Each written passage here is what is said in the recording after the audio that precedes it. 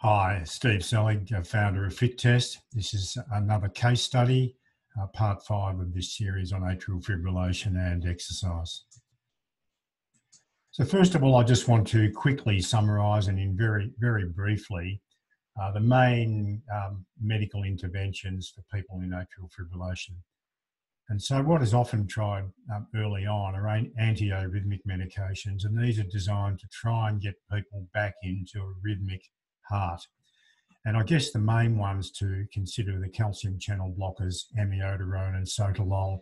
So you will see quite a lot of people who, especially newly diagnosed, newly treated people with atrial fibrillation on one of these uh, drugs.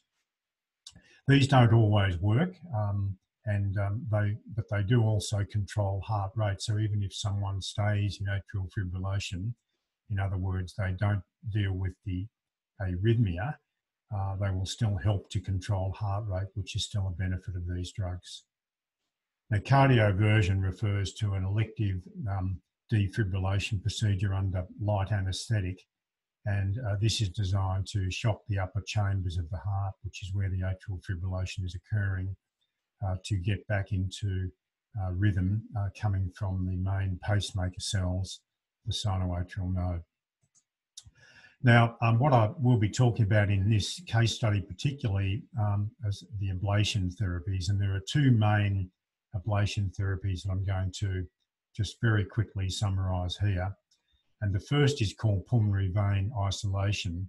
And what they do here is they have some diagnostic catheters in place. So it's a, it's a catheter procedure. This, this whole ablation procedure is done by catheter with um, it's a day procedure, maybe an overnight stay, but essentially a day procedure. So these diagnostic uh, catheters are there to, to map all the electrical activity in the heart.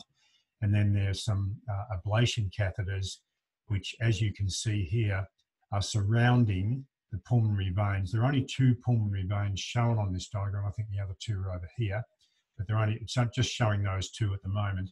And they're creating rings of scar tissue uh, around those pulmonary vein insertions into the upper left atrium, left chamber. Uh, and in creating that scar tissue, it means that the arrhythmias that may be occurring in here, or very commonly occurring in here, can't escape into the rest of the atria and the rest of the heart. And so then the normal pacemaker tissues, which are up here, the sinoatrial node, can then resume to take up the rhythm control of the whole of the heart. And so this is effectively uh, a reversal of that rhythm disturbance using this technique.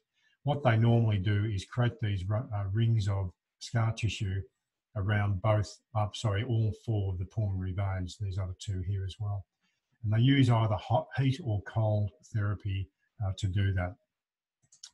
Now, um, what is involved in this case study is a different form of ablation called atrioventricular nodal ablation.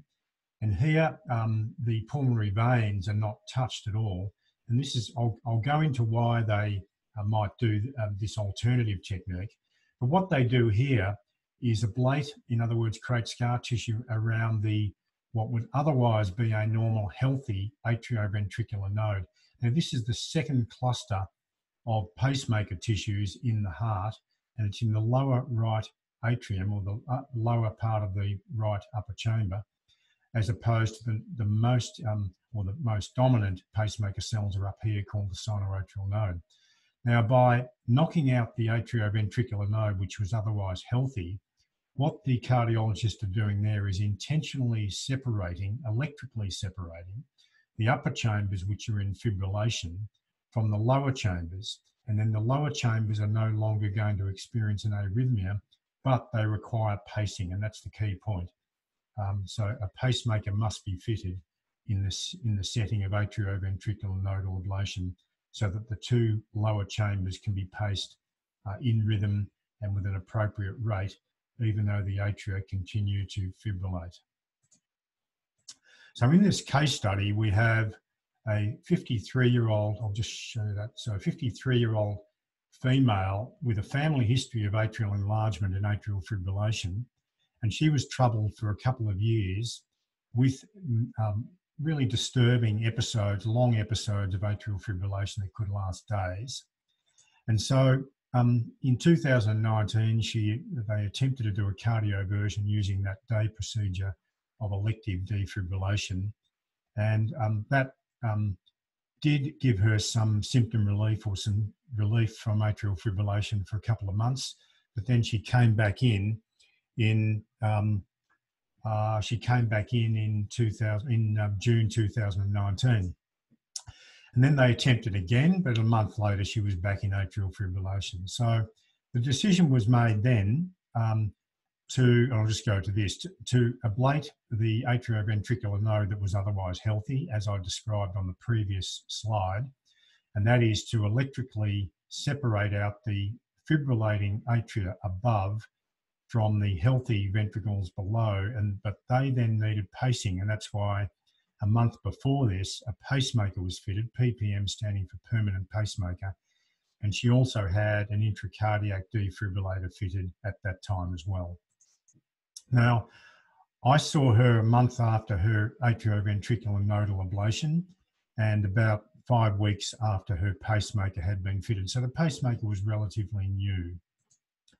And she was on the normal medications for, um, for atrial fibrillation, uh, metoprolol and Xarelto. So that was all about rate control and um, protection for intra-atrial thrombus remembering that after all of these techniques, after the AV nodal ablation, the atria themselves are still fibrillating and still need protection against intra-atrial blood clotting. Hence, the rivaroxaban or Xarelto needed to be given. Now, this is what I actually found. I, I, had the advantage of having an ECG, but that you certainly don't need to have an ECG. You just need to have a decent heart rate monitor. But just to show you what happened on ECG, and this is after her ablation and after her pacemaker had been fitted. Now, the interesting thing is the V1 lead is sitting over the atria and the V5 lead is sitting over the ventricles, in fact, the left ventricle. Now, the first thing with the um, atria is that you can see the atrial fibrillation occurring along the baseline all the way through here is ongoing. But on the V5, the ventricle, you can see that there is um, really nice rhythm. There's no arrhythmia that we saw in another presentation in this series. So this has cured the arrhythmia and the ventricles are now beating in rhythm and with a good rate of 75 beats per minute. In fact, the pacemaker had been programmed to 75 at this point. When we went to exercise, and we did a pretty, uh, we did a multi-stage exercise test and you can see a lot of minute stages here, so about a 10 minute test and she reached a fairly high RPE, ratings of perceived exertion. But again, uh, the fibrillation still occurring in the atria, but, it, but the uh, ventricles are showing, again, very good rhythm all the way through exercise. The rate is incredibly low at 92, and I can only interpret that as meaning that the pacemaker still needed to be fine tuned. It had only been implanted five weeks before this assessment.